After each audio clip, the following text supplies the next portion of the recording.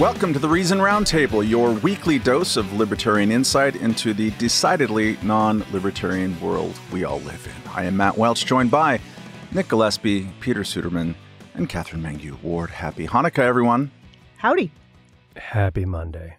Hey, Matt. So, uh, President Joseph uh, Robinette Biden II on Friday signed a stop gup Stop Gup? Wow. The hell?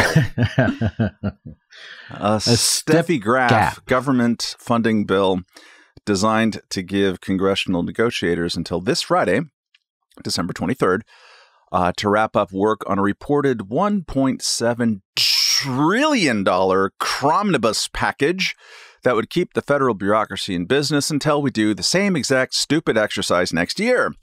Lawmakers report that they are just hammering out the final details of the so called must pass mega bill, saying in a statement last week that they had, quote, reached a bipartisan, bicameral framework that should allow us to finish an omnibus appropriation bill that can pass the House and Senate and be signed into law by the capital P president. In completely related news, the Treasury Department last week announced that the federal government, just for the month of November, ran a record shattering $249 billion deficit, spending a half a trillion dollars while taking in just one quarter. For context, that $249 billion one month deficit number is more than the amount that the governments of all but 20 other countries in the world spend every year. One of the main drivers of debt is borrowing costs, which are up a staggering $53 billion over November 2021. Turns out, when the government borrows and redistributes vast amounts of money, this can lead to inflation, which can lead to higher interest rates, which makes borrowing more expensive just at the moment when your debts have ballooned because you've just borrowed and redistributed vast amounts of money. This economic insight brought to you by any third grader who can count. Katherine, I was at a menorah lighting event last night in New York City. Uh, at which Congressman Richie Torres, uh, a Democrat, uh, said normally Congress doesn't really do much, but this week I, I actually have to go back and vote on the annual spending bill. What's wrong with this picture? Congress could consider doing stuff all year. I feel like this is a bold proposal that would both improve governance and improve my fucking mood. It's I don't know. I'm so mad right now about like I'm not sure why I'm taking it personally, and I will be examining that later, but like, this is absurd. It's absurd. They knew all year they needed to do a spending bill. They know it's it's not like a big surprise that creeps up on them, and yet every year they behave like college students who have not yet learned this lesson the hard way. And um, I, don't, I don't know. I, I appreciate that I have uh, colleagues who are similarly outraged, especially Jacob Sullum, like, I wish I felt as strongly about almost anything as Jacob Sullum feels about how badly Chuck Schumer has screwed up marijuana banking, which will now be shoveled into this bill, just as one example. Uh, Peter, 10 years ago, you were one of a, uh, a chorus back then uh, of voices singing about the congressional. Con- What's wrong, my guy? Wow. Wow. The it's bad over a, here. Stop, Gup. Can we get him into a uh, stroke uh, center immediately? Congressional Budget Office's long-term fiscal outlook. Mm. Uh, which back then uh, was uh, busy freaking out people using words like unsustainable and really super duper unsustainable. Uh, uh, uh, now that um, the future that it was always warning about is the present, is there anyone besides you who talks about this anymore? There's Eric Boehm and the committee for a responsible federal budget. Sure, that's a, that's the happy hour I want to be invited to. The uh, so I mean, reading the coverage of this, it's amazing. When I started reading news this morning at seven thirty in the morning, all the reports were still like, "Well, we don't know what's in it." Like they had a framework, but they didn't have any details or any information on what was really going to be in this bill. And then by like 9:30 or 10 there was a bunch of stuff and it's just it's just amazing the sheer kind of bonkers number of different things in this bill. So like Boeing jet safety protocols, maybe some big deal corporate tax changes uh, with regards to expensing research and uh, development uh, uh costs maybe an extension of the child tax credit that was included in that giant spending bill that um, the Democrats and Joe Biden did right when Joe Biden came into office, and then expired last year. And maybe they're gonna maybe they're gonna unexpire it even though it was supposed to be temporary. Although at the time, admittedly, there were a bunch of Democrats saying we're passing this on a temporary basis with the intention of making it permanent. But then it then it wasn't. So who the hell knows? Uh, state conservation funding. So like for all, all the endangered species, that's in, in this maybe. Again, we don't know for certain. Um, also, election reform, like all the the election reform stuff that uh, that is supposed to prevent you know the confusion and some of the um, uh, lack of clarity about what happened uh, on January sixth of uh, you know uh, uh eh, like that's that's maybe going to be in this and and it's just like I, you know everybody knows that old saying government is just the word for things we choose to do together. I think we need to update it to like government is just the word for a single multi-trillion dollar spending and everything else bill that gets written and passed without anybody reading it in the space of a single week at the end of every year or it's the things we choose to do to each other because we hate each other uh, speaking of hate let's go to nick um, oh, uh, this is a bill filled with love uh, we're there's not a lot of hate. I want to uh, extend Peter's conversation, but before that, Nick, since yeah. you've written uh, a, a, number of great pieces over the history of Reason Magazine uh, and uh, sure. and everything else about um, the size of government before the flood, government spending, yeah. and whatnot. Uh, this looks like right now we're on track for a, a deficit uh, of this fiscal year of 1.9 trillion dollars.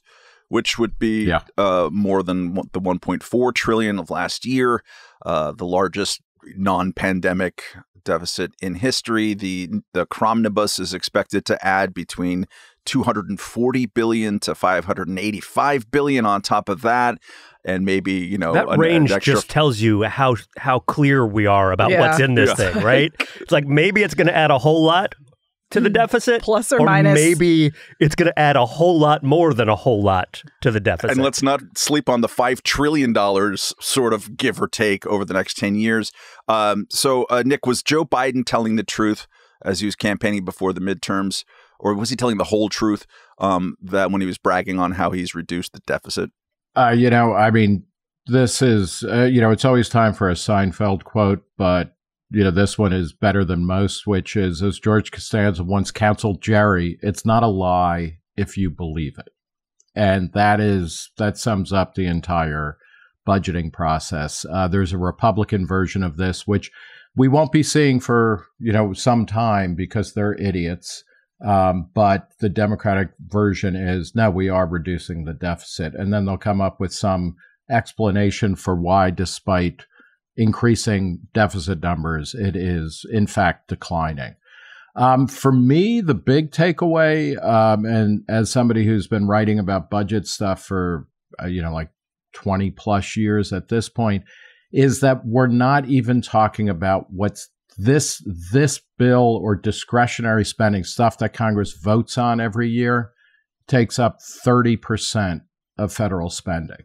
So there is 70% of what the government is actually spending.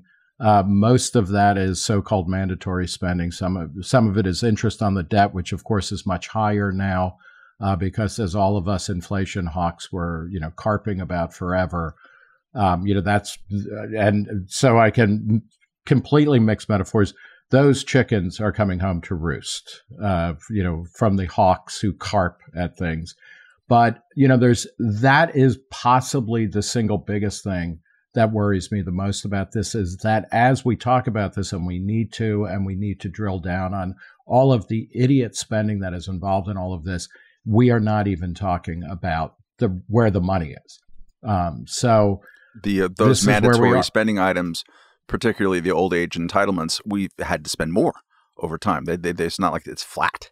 Uh, that continues to increase, as does the uh, the debt service and the.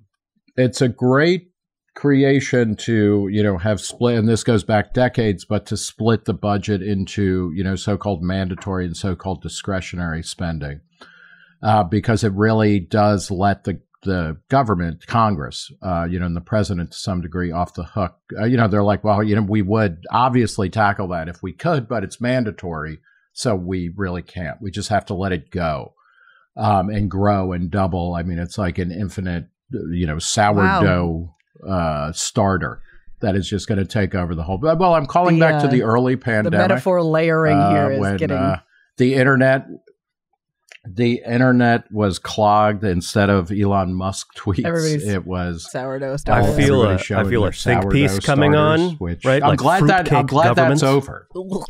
but uh, the um, thing that was amazing too is when I really started writing about budget issues uh, around 2000 2001. Um, you know the the shorthand was the federal budget is comprised by two two parts, mandatory and discretionary spending, each of which take up about half of spending. And that was that back when ain't true uh, anymore. Um, the, the last really, budget really under Bill Clinton was 1.8 trillion dollars, so nominally less than the deficit will be this year. So it is true that that the the deficit has come down from its pandemic high, and the Biden administration is using that fact to argue that under that President Biden is somehow or another responsible for that. But the reason the deficit has come down from its pa- pandemic high is because we are no longer passing trillion or 2 trillion dollar pandemic relief bills every couple of months like we were starting in uh, April or so of 2020. Uh, and also, those bills were packed with temporary spending that was intended to to end at some point. And so uh, Biden wasn't responsible for about four trillion of the six trillion that was spent. Right, the first part of the first couple of bills were passed under President Trump. So Biden is arguing that because that that spending has expired as planned, as passed under somebody else, his administration should get credit for the falling deficit. When you actually look at the policies that President Biden himself has signed into law, they will add trillions of dollars to the deficit and are responsible for for uh, the the deficit was was already going to grow. They are responsible for increasing the amount that the deficit is expected to grow over the next decade. And so it is on the one hand true that thanks to the expiration of a bunch of pandemic spending, the deficit has fallen from its peak but it is also not true that Joe Biden deserves any credit at all for reducing the deficit. And in fact, if you are somebody who cares about the deficit, you should be opposed to the policies that Joe Biden has signed into law. You know, if we can flip that too, it's, uh, you know, and again, because it, it, you know, the Republicans had such a terrible, uh, you know, turnout or, you know, outcome in the election um, that we, it's going to be hard to think about them as a dominant party, you know, although that can I, you know they control the House, so they they took that. They might win the the presidency in 2024. To uh, follow through on what Peter is saying is that the spending increases went up under Donald Trump even before COVID, and from a libertarian perspective, this is not to say okay the two parties are exactly the same. They are rotten in their own individual ways, but one thing that they share consistently is voting for more and more government spending, both permanent and temporary, or you know, mandatory and discretionary when they are in power. And there's got to come a point where this, you know, it has to stop. We're seeing the things that, you know, large scale, nonstop government spending, debt finance government spending does. And it slows down long term economic growth, it increases deficit spending, and it destroys uh, long term uh, uh, you know, ability to kind of change the way, the trajectory of where the government is going and what kinds of policies we're actually doing. It's, uh, you know, it's deeply, deeply disturbing. It's inflationary. And, um, you know, we need to have a bipartisan consensus, at least, or an acknowledgement that they're going to do something about it, or we're never going to speak of this again, and we should all move to um, Canada. To underline what uh, what Nick uh, just mentioned, because people react to this with surprise, I find, um, is that pre pandemic, um, uh, federal spending under Donald Trump in three and a half years increased more um, from the beginning of his term to that three and a half year mark than federal spending increased uh, in Barack Obama's uh, eight years as president, uh, which is uh, people don't want to believe it and also it's true. Katherine, you referenced the uh, Chuck Schumer Marijuana Banking Act. Um, give you the choice either to expound on that or any other thing that is tucked in or is expected to be tucked in to this must pass, never going to be read uh, bill that's going to be up by Friday. Yeah, I mean, I, um, you know, I think P- Peter and Nick both eloquently uh, attempted to drive home how incredibly large these numbers are. But in some ways, I think it's more troubling when what goes into these bills are things that are have really are not spending at all. Like it's one thing to be like, okay, we got to do a budget because m- budgets are a thing, but um, the rush to dump things that should be clearly should be and sometimes have been separate pieces of legislation that are substantive that are not primarily about spending at all um, is the stuff that troubles me more. So the marijuana banking thing is an example of that. The short version is that Chuck Schumer uh, vote what what was the old line The John Kerry was it John Kerry the like I voted for it before I voted against it. Do you remember that from back in the day? Um, he voted against it before he voted for it. So there's a, he had a Schumer had a different version of marijuana banking that he wanted. Uh, he murdered in its cradle this bipartisan should have passed um, bill, the Safe Banking Act, and now he wants to shove it into this last minute um, gigantic bill in order to get it through because his thing didn't work out. But the other thing I want to talk about is is the thing that Suderman mentioned the um, the Electoral Count Act, which is going to be shoved in there. This is arguably the most important thing to get right this year reg- legislatively. Like if if the presidential election doesn't go well next time because this set of rules wasn't carefully considered and crafted in an ideal manner, the consequences are going to be disastrous. Because they did it at 1 a.m. on Thursday. And I'm pretty sure that this is not carefully crafted in an ideal manner because they're going to do it at 1 a.m. on Thursday right before the year ends. Now, to be fair, this is language that was already debated, right? I mean, this is, you know, it passed the House, it's it moseyed its way through the normal process, but the whole problem, right, is the last little fidgety details. Um, and you know what happened last time around was that it was not clear who had final authority in some ways to certify these votes to to certify these legislators and we we cannot uh, these electors we cannot do that again and the fact that we are willing to just chuck this into this big, dumb, messy spending bill and hope for the best, to me, is like the greatest evidence yet that Congress is not being in any way serious about its obligations to the American people. Uh, Nick, are there any other elements of the bill that uh, are attracting your uh, specific eagle eyed attention? Um, mostly what I, I, was looking at in the uh, the budget bill was the misdirection. So I would say no. I my eye is firmly on that big fat seventy percent, uh, and the actual the interest on the debt is really worrying because again, as somebody who's been you know shouting about uh, inflation caused by government spending and persistent deaths and lower uh, long term growth and the worry over uh, heightened interest costs. This is this is where we're at. I want to give a special shout out to uh, Jonathan Chait, to Steve Benen at MSNBC, to uh, a bunch of other people who, uh, Joe Biden, Joseph Robinette Biden, the second, um, and a bunch of other people who, in the month of October, were busy saying that the most underreported uh, political story uh, in, in the run up to the midterms was that the Republicans were about to shut down government because they were going to cut Social Security and Medicare, and they, they're going to hold uh, they're going to hold government hostage and actually engineer a global economic breakdown. I'm not exaggerating. None of this is hyperbole. I'm the, the writing to this extent in the past uh, because um, some of us said, you know what, we would have noticed. Probably the libertarians might have noticed that this was happening.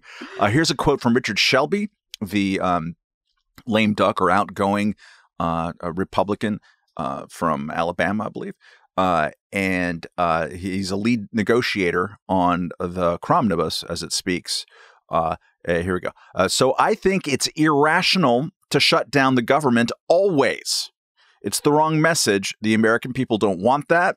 A few people say, well, we will go to the edge of the earth, we'll make people do so. And so I think it's best to try to work it out. You have to give and take. A lot of things are in the bill or will be that I don't like and I wouldn't vote for, but military, veterans, safety nets for people and everything, let's do it.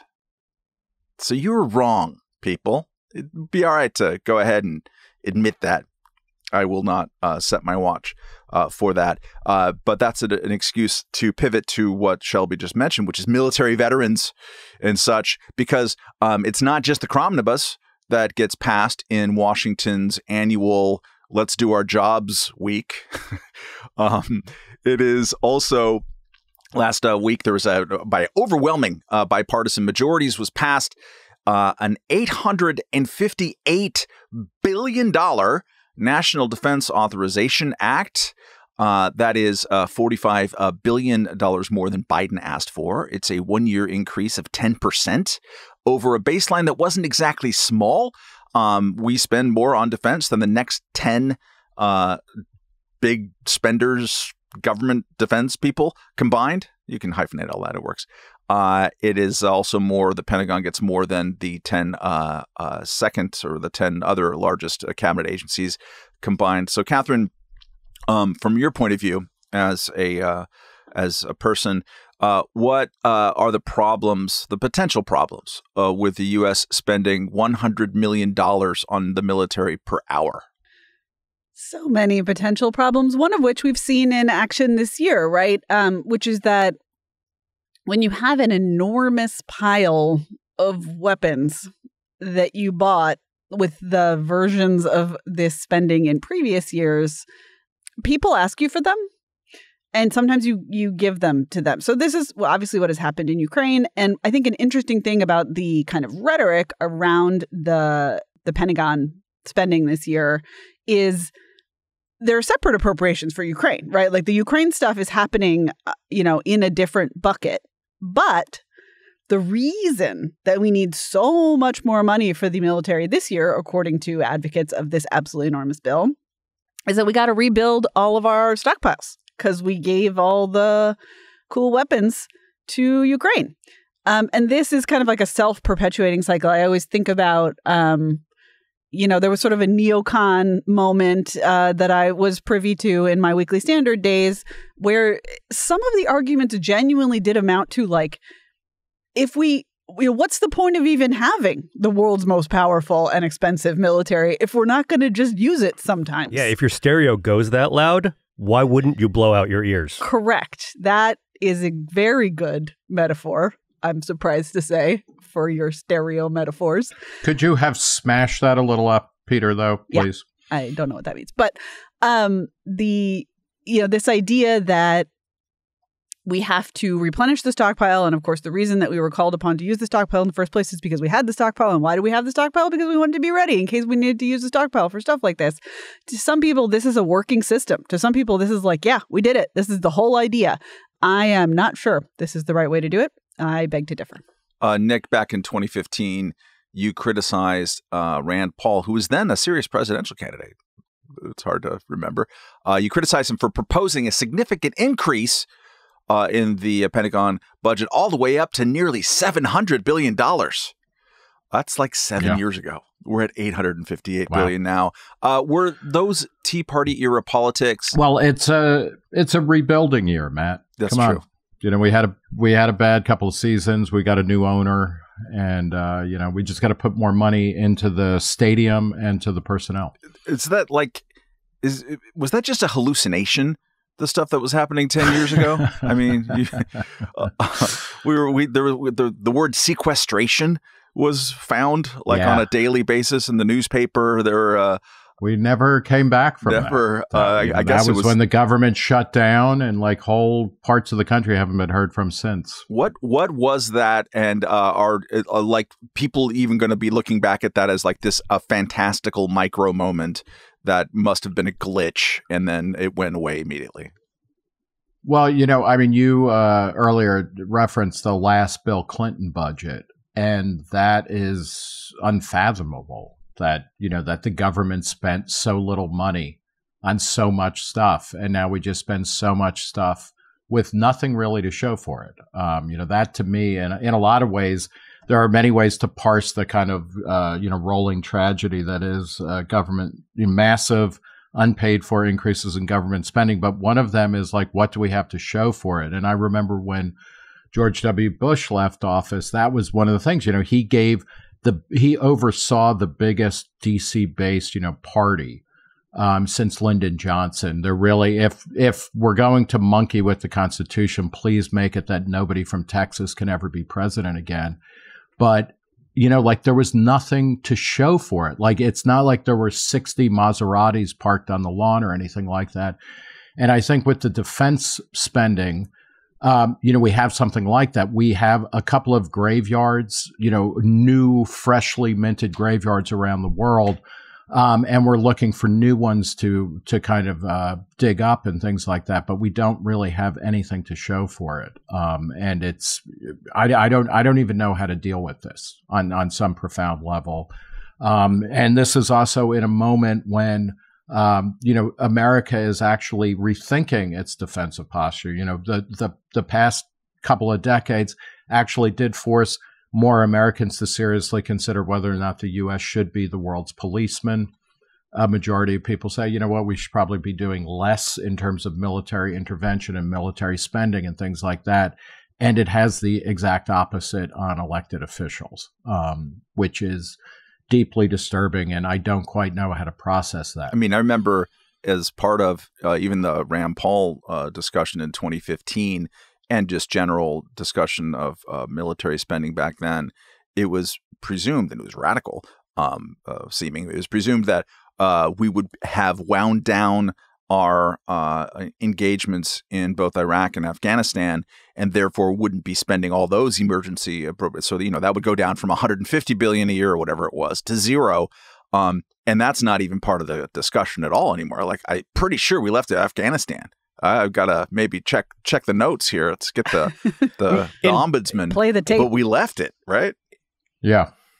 The you know the the other thing is that you also see you know that the the military is the ultimate jobs program and not for the people who serve in the military either, but for military contractors and whatnot. And one of the things that's worth keeping an eye on is the uh, the new uh, B twenty one bomber uh, which will probably come online, which was announced recently. And, you know, even the Washington Post, as Alan Vanneman, a longtime reader, uh, sometimes commenter at uh, Reason.com and, and similar places, notes that even the Washington Post is saying, What are we doing with this? And the Washington Post had an op ed on this saying uh, the U.S. Air Force has, to put it mildly, a mixed record building strategic bombers over the past 60 years.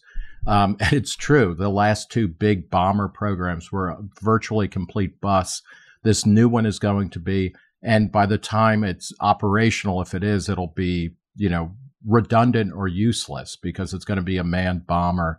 And we have things like the F 35 fighter plane. Like this is the hardware that goes into all of this is kind of an open spigot for spending, for jobs, for influence. And then, as Katherine was pointing out, this stuff ends up somewhere. Sometimes it's a you know a kind of military graveyard in the middle of Arizona, or Nevada.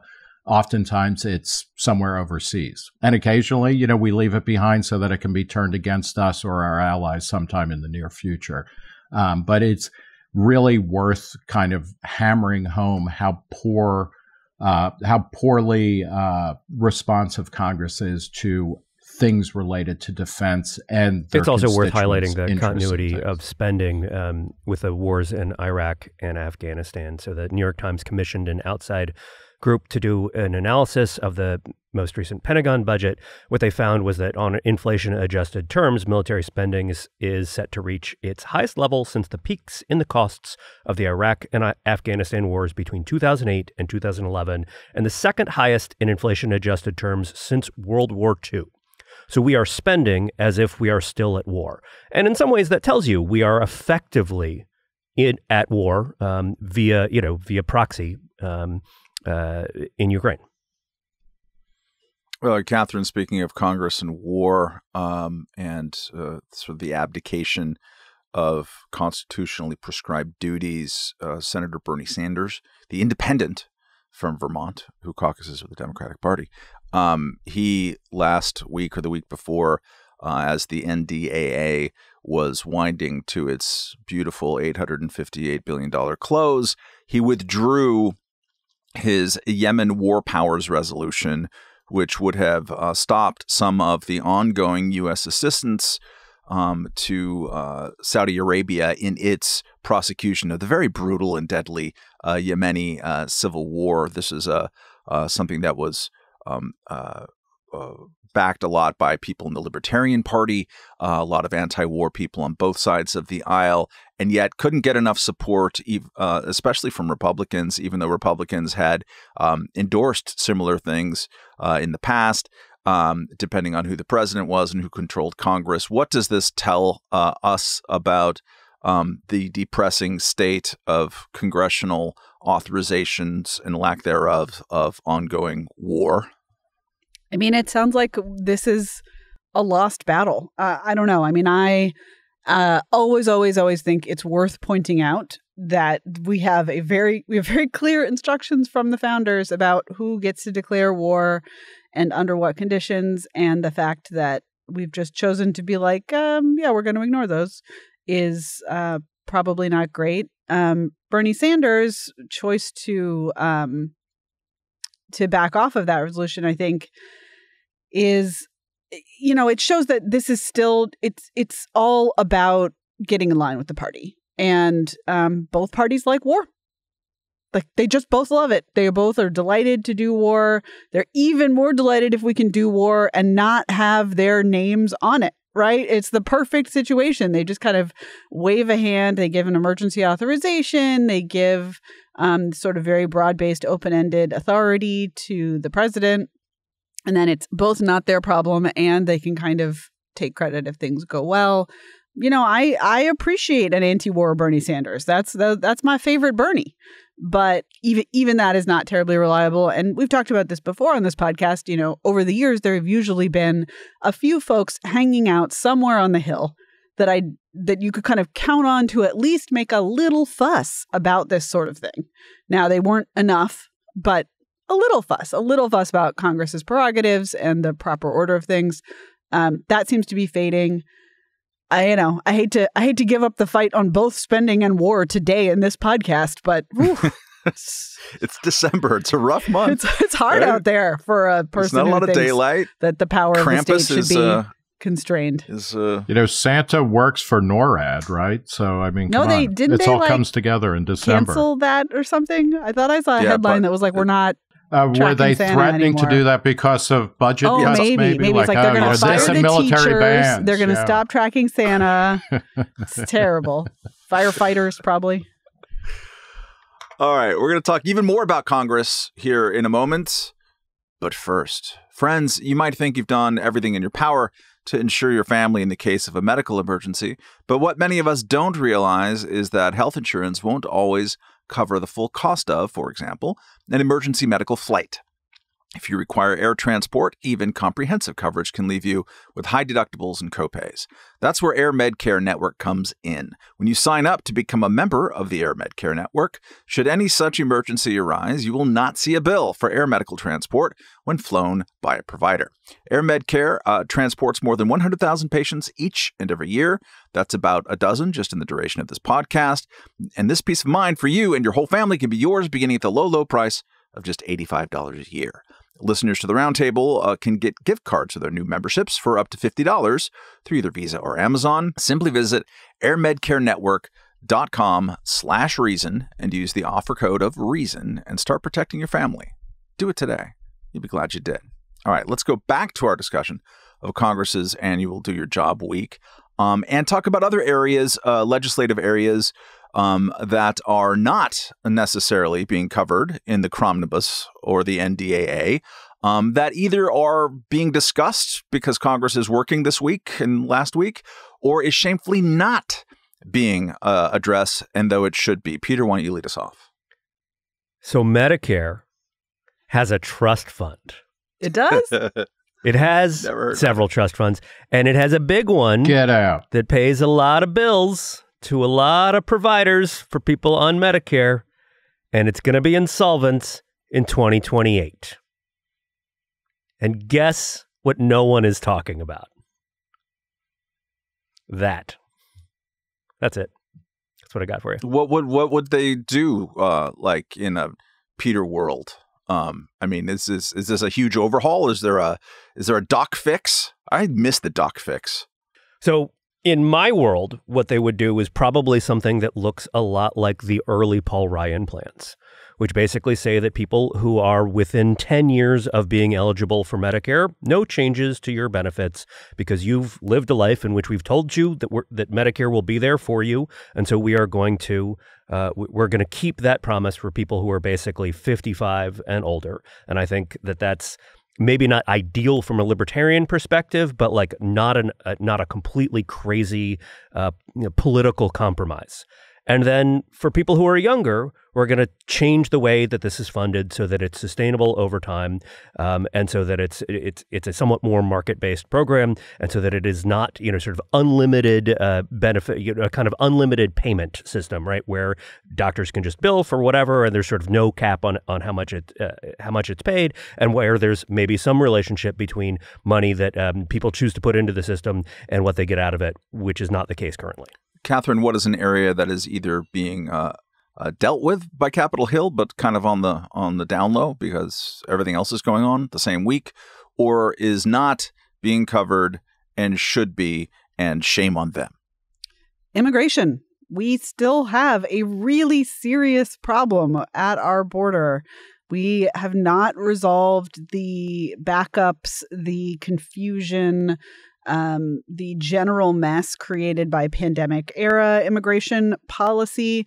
Uh, I was reminded by a post on Twitter recently that we also still have a vaccine mandate for people entering the country, even from nations where vaccines remain scarce, um, especially perhaps from those countries, you might even say. Once again, uh, there was kind of some talk that maybe there was a bipartisan immigration deal that was going to come together excitingly in this, the week that Congress does its job. But no, uh, the last headlines that I saw contained phrases like dead on arrival, which tragically is also true of some of the people trying to get into this country. I think that there is a. I really wish we could fix that. There's an eternal um, kind of. Uh, uh, a lingering mistake or or a, a, a uh, attachment to comprehensive immigration reform, which is not to say that we don't need comprehensive immigration reform. It's just that that was a term used to describe negotiations that have stopped being a viable thing for the most part uh, 15 years ago. Um, uh, because it's kind of too big of a question to get people to agree.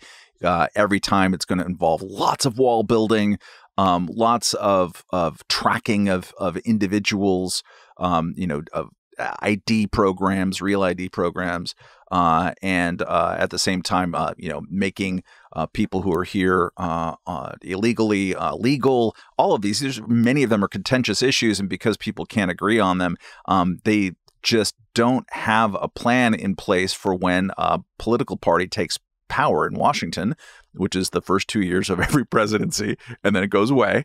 Um, so there isn't any like here's what we should do to maybe just add the, add a number of visas. That would that would be helpful. Right. Um, well, there's just, also this. I, there was just this idea that has haunted our politics for a long time that the Republicans want you know border control and the democrats want to let in more people and so we could do those two things at once together they are not in theory in conflict and if we did them both together so everyone would get something they want and then we could do it that's wrong that didn't work.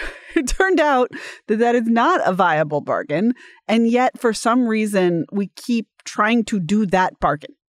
Um, you know, this last uh, theoretically bipartisan deal was a uh, a Kyrsten Sinema jam, so I'm sure it wasn't helpful that she decided to sell her high heel shoes on the internet and change her partisan affiliation this week, also. But, um, but yeah, this like the the imagined structure of a of a bipartisan bill simply isn't one that actually garners bipartisan support and it's bizarre to me that Washington can't move on from that delusion.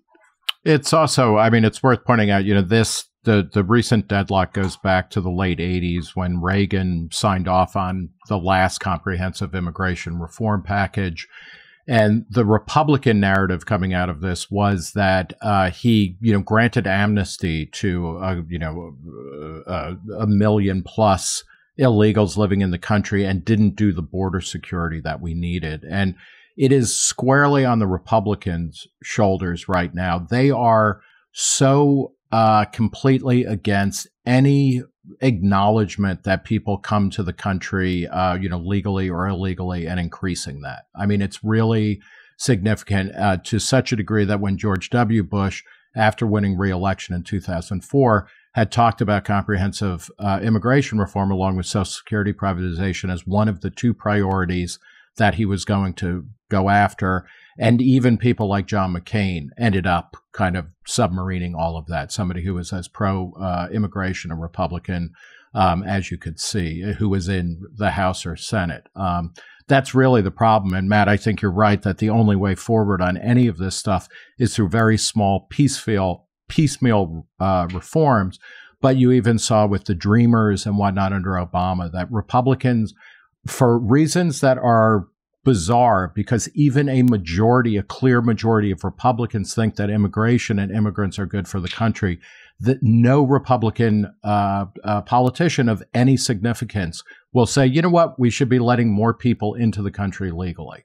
Uh, they just cannot um, concede that. And that is a big problem. And then you have the fecklessness of, of Democrats who just won't get on with the smaller legal reforms. A key moment uh, in all that period was the um, almost failed uh, presidential uh, nominating uh, campaign of John McCain. He'd been a co-sponsor along with uh, Teddy Kennedy of of the negotiations to get bipartisan comprehensive immigration reform, and his campaign almost was was stillborn at birth, right?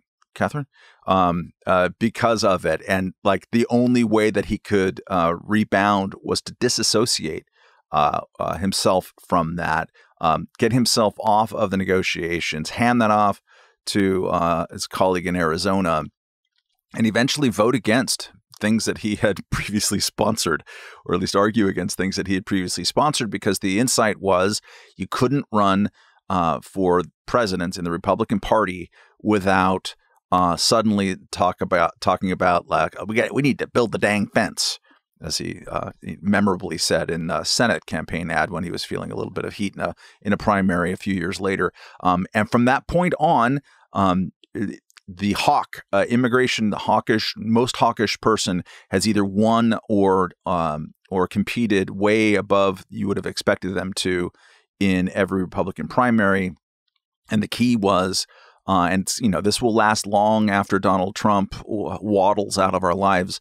Um, uh, you know, when Trump came in and compared illegal immigrants or immigrants from Mexico to rapists and not sending their best, and the reaction was his poll numbers shot up. Um, every single Republican, everyone, there wasn't an exception to this, who were running for president at the time, suddenly lost their mind on uh, immigration. Like Ben Carson was like, we need to close the border with the Atlantic Ocean. People were talking about how we need to get like FedEx Build a moat. to stamp. You know, we can track FedEx packages. Why can't we track uh, the the humans? Come on, man. Um, it was nuts, and uh, and that the nuttiness uh, that those lessons have been learned. Um, and until um, you know that fever breaks, uh, but it's gonna not break for a long time. Nick, what go?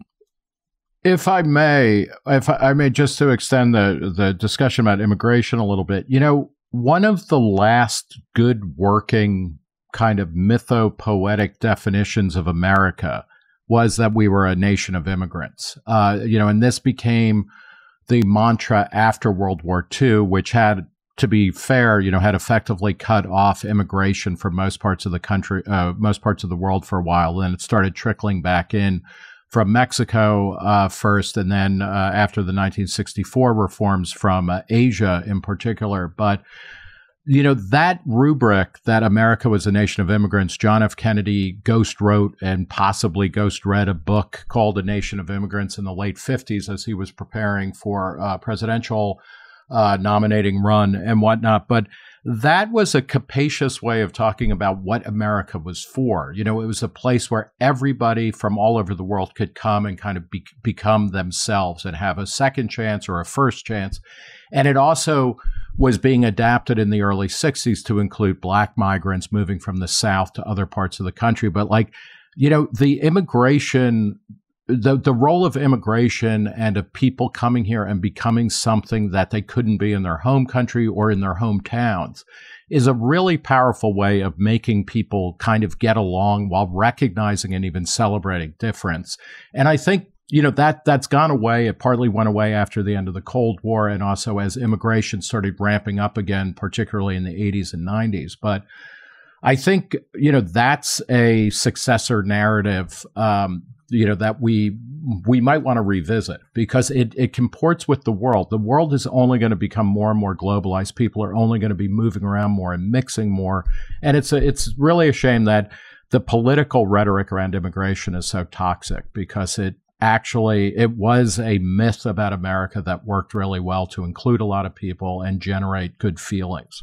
So, uh, Nick, what is what is your one thing that Congress is either doing on quietly this week or should be doing and is not this week? Yeah, I mean, I guess it's that they're not, but um, you know, I'm just going back and I was looking at some uh, uh, stuff. Uh, both Peter at uh, Reason.com or Reason Magazine and our colleague Emma Camp have written again about the new or the new challenges to Biden's student loan forgiveness uh, program, and it, you know that's going to become a compelling or you know, a, a, you know, it's in the courts and things like that. And um, I just wanted to call attention to the fact that you know the the warrant for this uh, action by the by the Biden administration was the HEROES Act, a 2003 law giving the Secretary of Education the power to give federal student relief in connection with the war or other military operation or national emergency. And you know when you are forgiving student loan debt to people who come from households making up to 250 grand under the idea that there's a war or other military operation or national emergency going on. Something is so wrong. And I would love to see Congress, you know, actually do something to knock this down, you know, to take it out of the courts. Uh, hopefully the courts will see fit to keep knocking this down because it's just, it's bad policy on every possible level. Um, but it's also like the the argumentation behind it. It's like it's it's just awful and terrible, and we shouldn't even bother having a uh, you know a government of laws if we are going to torture plain language into whatever is necessary in order to do whatever we're going to do. I would just rather live under a naked despot like we are increasingly doing um, on Twitter. My a nominee for the thing that actually uh, uh, got passed. I, I, forget which one it's through the NDAA.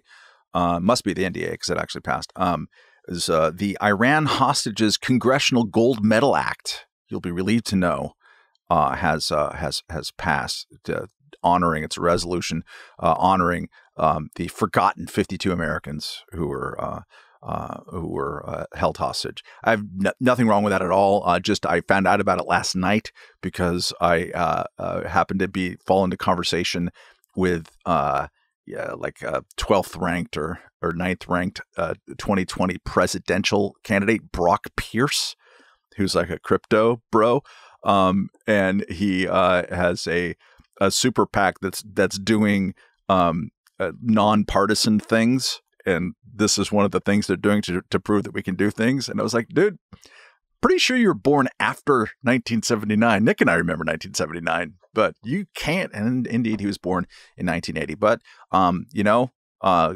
gold gold medal uh, for families, and those people suffered, and we should remember them. So, whatever. I would have expected him to have wanted to be either an NFT or a Bitcoin medal. I mean, why would Brock Pierce, of all people, be uh, going back to mere gold? He can do a lot of different things. The guy's involved with Toys for Tots too, Nick. He's doing a lot. Um, and look, I'm just saying, you're either a Bitcoin maximalist or you're, uh, you know, you're kind of a fiat boy. I don't know. Um, speaking of fiat boys, let's go to our end of podcast. This that doesn't work.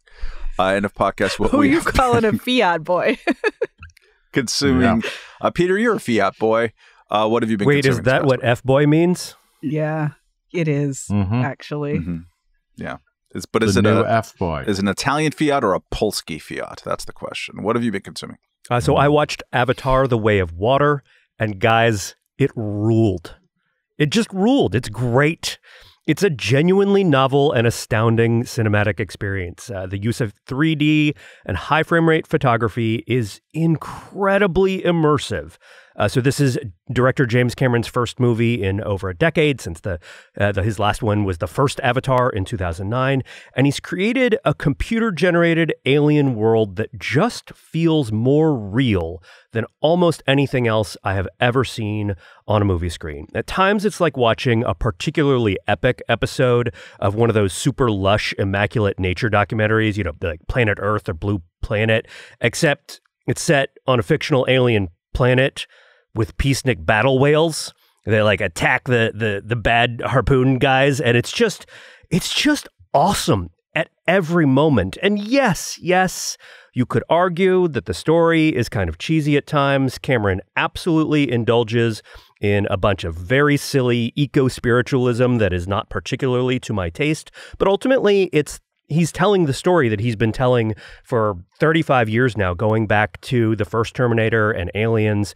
Um, and and True Lies and even Terminator 2 which are all kind of found family films about struggling families that are sort of you know that that maybe are not actually biological families but are like going through hard times and figure out how to come together to kick ass and win and be awesome and the experience of it is just it's just a wonder. It's the kind of grand scale uh, forward looking ambitious filmmaking that i think has gone out of fashion in the age of endless marvel sequels which tend to use cruddy computer generated effects as a crutch.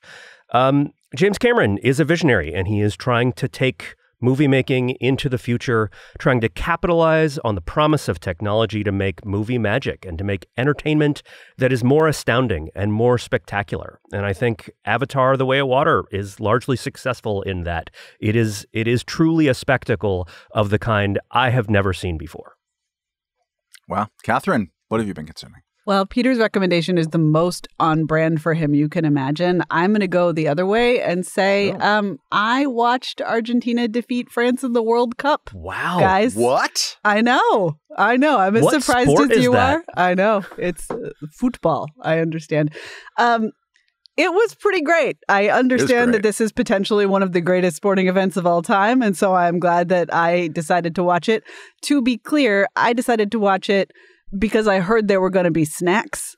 Um, so I went for the snacks For the for the football players or for you? for me, the snacks for me at my friend's house. Um, and I did eat some super delicious um, Argentinian snacks, which made me happy then that the good guys won. Um, I uh, particularly enjoyed the part where um, adult men wept the world over. I just I just like men to have feelings sometimes, and if this is what it takes, then I'm all for it. I had them about the CG whales. Yeah. So, say, like, say everybody can get their feelings whatever way they want. Um, I will say I presciently hated the first Avatar. Like, walked out and said, "This is bad," and here's all the reasons why. Um, but also, it made me really motion sick, and so I'm scared to go see this one. But um, the World Cup was great, and I know that that is not a particularly novel recommendation, but um, maybe the only form of nationalism that only makes me a teeny bit uncomfortable, but mostly happy. It was uh, it was awesome, except for the wrong team won. But uh, yes, that was good. Nick, um, you're crying even right now. Uh, what did you uh, consume?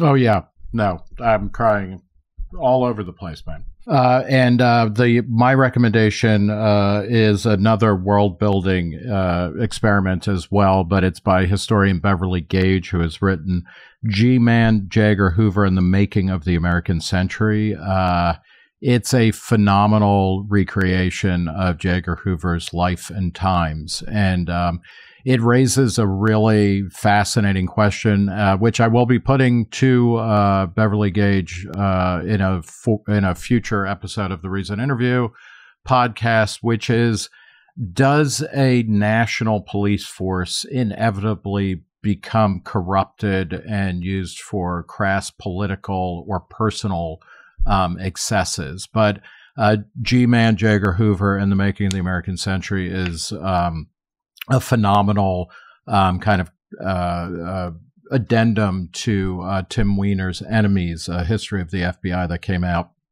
maybe a decade ago or so. Um, really fascinating, and particularly in a moment now where you know our our big moments where we're like, oh, my, you know, we need to root out terrorists, we need to be worried about uh, this and that, uh, et cetera, has passed. Kind of going back and looking at J. Edgar Hoover, the long time you know, 48 year head of the Federal Bureau of Investigation, and the way in which his power kind of incrementally increased and um, kind of corrupted him as well as he corrupted the institution is well worth, uh, you know, kind of puzzling over while we have kind of a breather in terms of national security state issues. My uh, recommendation, which I'm still reading through, but I'm in taking a very heavy nutrient value from is uh, 1948, A History of the First Arab Israeli War by Benny Morris, uh, Israeli historian, came out in 2008, uh, I believe it was. Uh, for those uh, who are uh, ignorant about Middle East conflicts, which I definitely am, um, it's a very, very good and dense primer, primer, any way you want to pronounce it. It's that, um, and very, very detailed about the run up to the creation of the state of Israel and all the wars and the British Mandate and uh, all that uh, business. Um, uh, been going on a jag in that direction for a while, and um, just really well done. appreciate it. It uh, it's rare to read a history where um, it uh, you know there's a way in for people who know everything about it, and a way in for people like me, again, who are ignorant. Um, and uh, and it can be read in both ways, and uh, and certainly provides uh, context that uh, um, enriches uh, the discussion of what's happening right now in Israel, which is new government, some bad people. Um, it's it's look looking pretty uh, dicey, and they're I think we're running up towards a possible pretty significant split between um, uh, Jews in America and Jews in Israel about what's happening there, um, and that's will eventually or sooner rather than later affect uh, foreign policy in the state of a lot of people living in the West Bank and whatnot. Uh, but anyways, uh, great book, 1948, Benny Morris. Check it out. Uh, all right, thanks for checking us out this week. Um, like our podcasts, uh, listen to more of them. Reason.com slash podcast. Nick, what do you got teed up coming in the great state of the city of New York? Uh, we've got on January 4th a Reason Speakeasy featuring uh, drug policy experts and harm reduction reformers Andrew Tatarsky of the Center for Optimal Living and journalist and author Maia Szalavitz. Uh, go to reason.com slash events to uh, get details and tickets. Uh, all right. Uh, we will catch you on the other side of Christmas. So, Merry Christmas to everybody.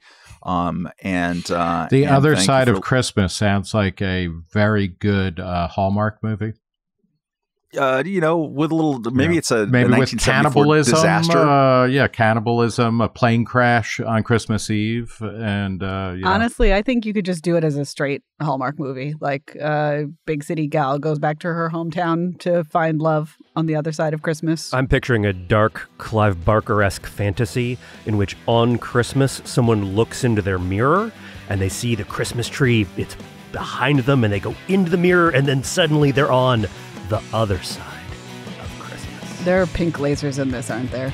Always. Yeah. All right. Goodbye.